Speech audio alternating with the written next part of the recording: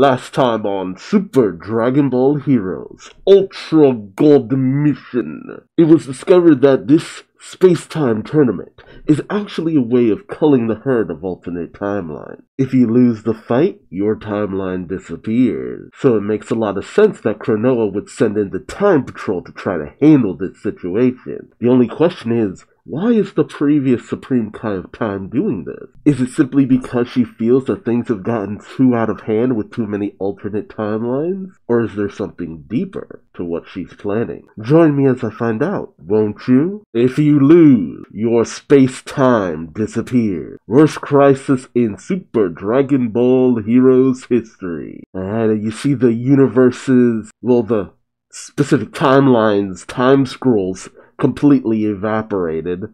False histories will be erased. The Time Patrol goes up against the ultra dangerous Ayo. Xeno Goten is shocked. Those people, their whole time scroll was erased. Trunks grabs his sword. How could you? And we see the masked figure on the Time Patroller team looking on in disdain. Ayo states, this was the fate of these histories. That's all. Goten then says, huh? The attacks disappeared? Oh, no, missed the page. Trunks then goes in for a massive attack, shouting, What is fate about this? Why do you get the right to decide?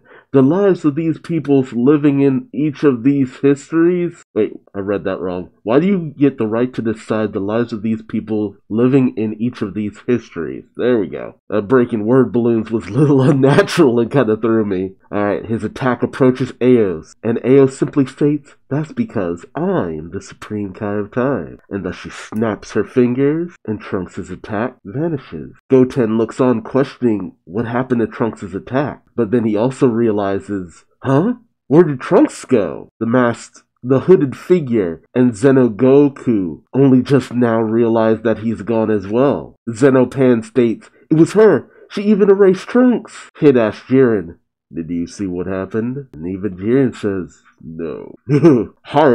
Ooh, it's gotten his gander up because, I mean, gods who don't care about mortals and will erase them with a snap of their fingers, that's Hearts' whole MO right there. Xeno Gohan questions Aeos, saying, But it's weird. There should only be one Supreme Kai of Time, no matter how many histories there are. Aeos explains, I am the former Supreme Kai of Time to be exact, but it seems like it was too early to put her in charge of time after all. When the eventual time comes for the true history to be decided, I'm going to reclaim the title of Supreme Kai of Time. Goten then shouts, I'm against the Supreme Kai of Time who doesn't care about people. Pan adds, Me too, me too. Aostin states, Like I said, don't measure things by mortal standards. To maintain the balance of time, they had to disappear. Goten pr- Xeno prepares an attack saying, That's not true. Gohan does as well,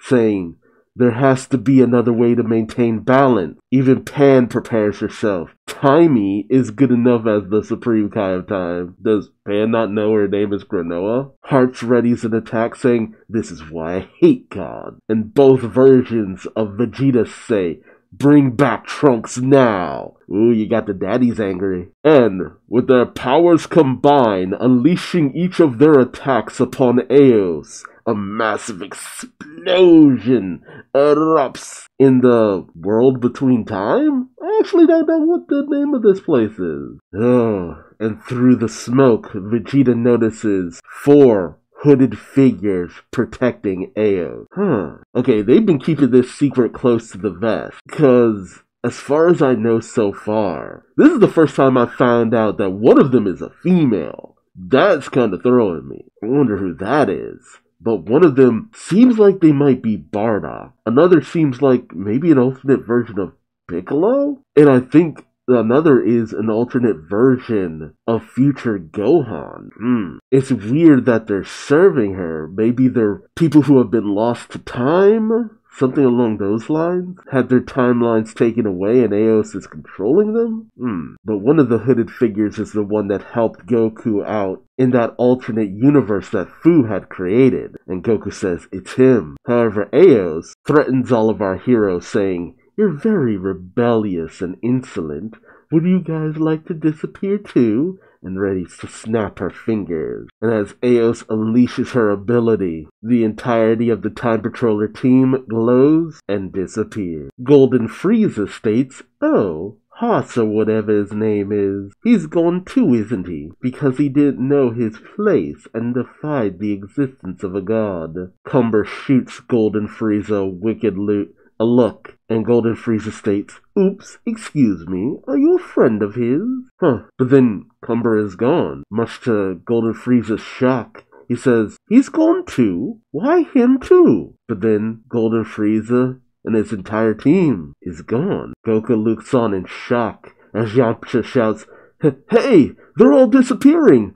That girl seems very dangerous to me! But then Goku disappears. As Yamcha thinks, Hey, what's going on? He didn't even blink and he disappeared without a sound or sign. But then Yamcha realizes most of his allies have all disappeared.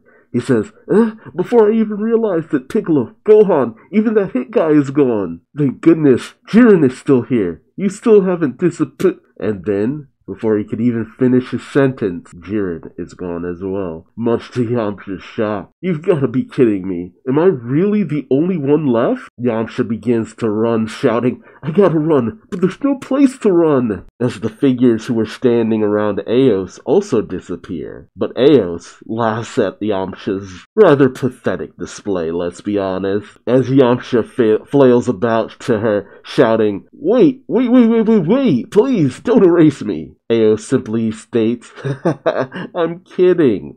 I was just messing around. I didn't really erase them. Yamcha is shocked. She explains to Yamcha, during the time freeze where everything stops except me, I sent them all to the second round. I didn't expect you to be that surprised. Well, give it your best in order to survive. And thus Yamcha, the last, disappears. Yamcha arrives in a land of gears and crystals, and he thinks, he says to himself, what the heck? They really were all just sent to the next stage? That surprised and scared me. Well, I thought it might be something like that.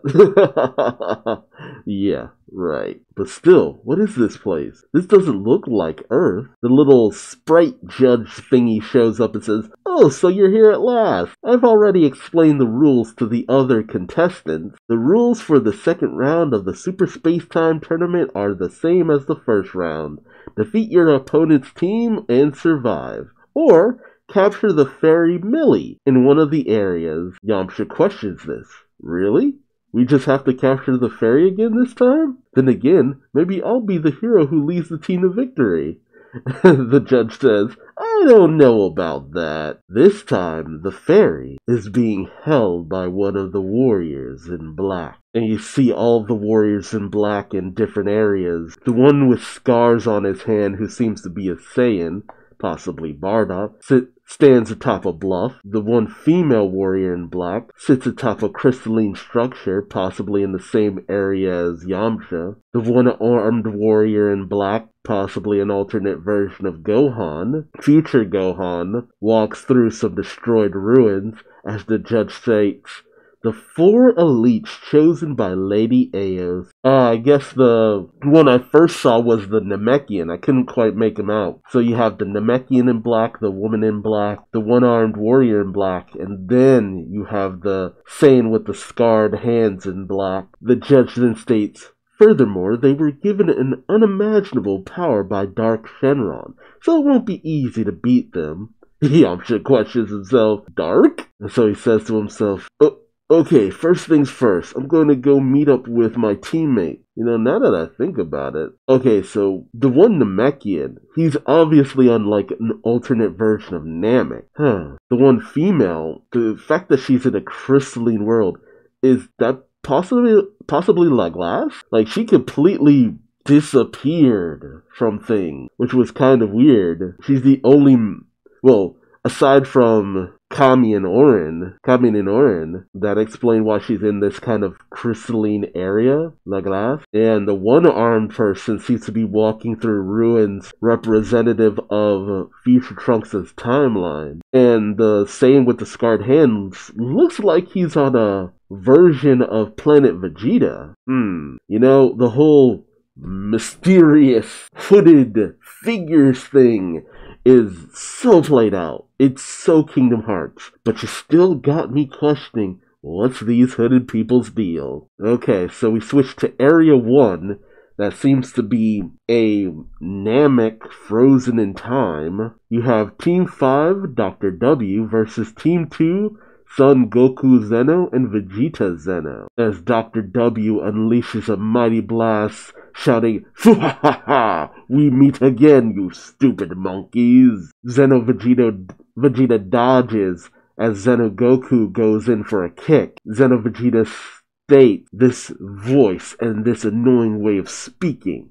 Aren't you the cyborg bastard from back then? And Vegeta then thinks back to that time and says, Speaking of which, you kept mocking me the last time. Xenovegeta's anger comes to a boil, and he says, Out of my way, Kakarot. I'll beat the shit out of him. Xenogoku can only, uh, eh, just look on like, huh, okay. Dr. W says, Are you sure? It takes two of you to keep up with me, and you can barely keep up with me, my speed alone. Xenogoku backs off, saying, I'll give you only three minutes. And as Xeno Vegeta starts to power up, he says, Don't think you can squirm your way out of this, you stupid cyborg bastard. Meanwhile, in Area 2, the dystopian future Earth zone, ah, you have future Trunks walking through the wreckage, say, thinking to himself, I need to get out of this tournament as soon as possible.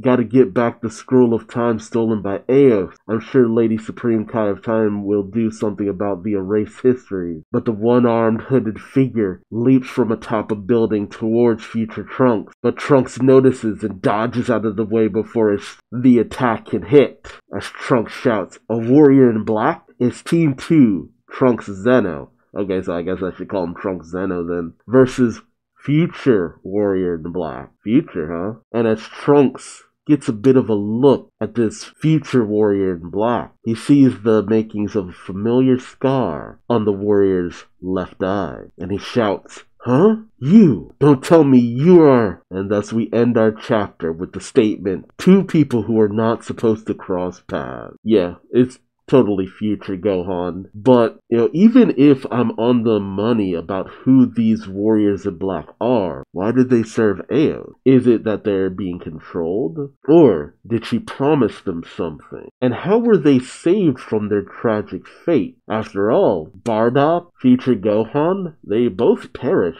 very unfortunately. Wouldn't saving them create even more instability in time? Maybe Eos isn't as concerned with the security of space-time as she lets on. Let me know your thoughts and theories in the comment section below. Who do you think all of the warriors in black are? And why do they fight for Ao? I can't wait to hear from you. But hey, subscribe, that way you don't miss out on the next chapter reaction. Or don't. Ain't your daddy, but I still love you like one. until next time, I've been Duuz-Diz-Din, and I hope to see you in the next video. Until then, bye-bye.